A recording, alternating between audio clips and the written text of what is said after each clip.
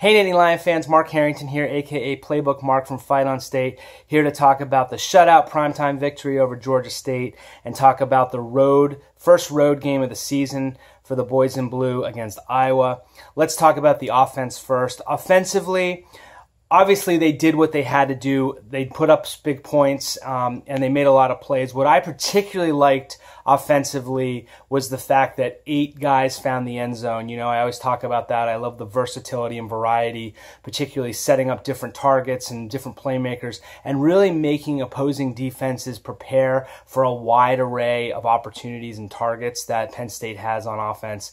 Um, obviously, there was a challenge. A lot of people frustrated with the run game in particular, particularly up the middle, and the ability for those pass blockers to open up lanes. Barkley wasn't able to get that done, but boy, did he get it done on the other side through the air. Um, he actually broke Penn State's record for all time career receiving yards for a running back.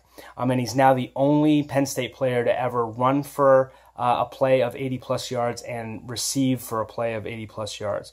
So he has shown his versatility as well, and that's going to make him even more of a threat and make defenses um, have to really prepare for him. So I think you might see him more as a decoy at times than we have in recent games uh, against that Iowa defense. Iowa defense is, is struggling at times. They're about middle of the pack in most statistics.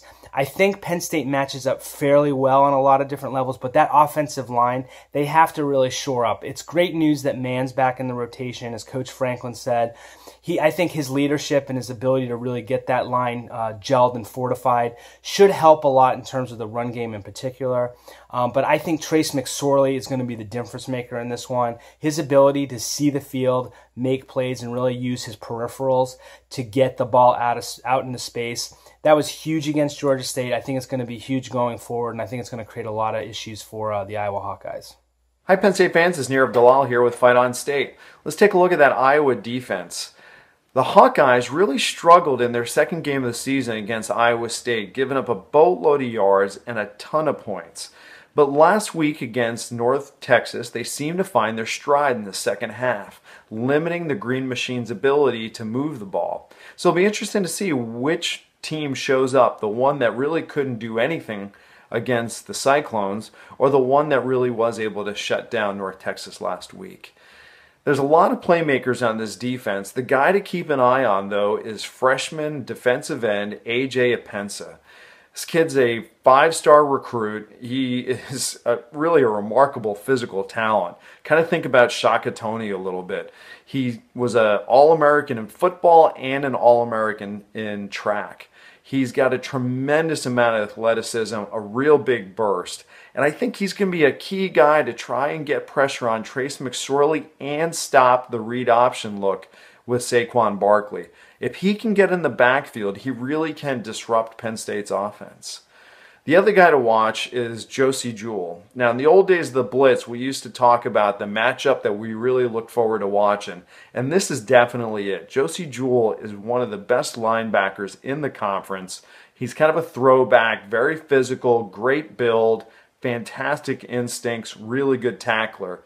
Going up against Saquon Barkley, a guy who's got a lot of moves, ton of speed, a lot of power. So it's going to be great watching these two guys go head to head, and you're going to see quite a few collisions. I'm certain of it in the hole. But Josey Jewell is a guy to keep an eye on for this Hawkeye defense. They really kind of rally around him. Overall, I think this defense is pretty good, and without a doubt, they're going to be playing with a chip on their shoulder. Last year's game against Penn State was probably the worst game of the season for the Hawkeyes. So look for them in this night game in Kinnick Stadium to really be fired up. My prediction for this game is a much closer game than folks are expecting. I think this is going to be a tough battle for Penn State. First road game essentially since that Michigan game last year against a quality opponent. So I like Penn State winning, but only 27 to 21.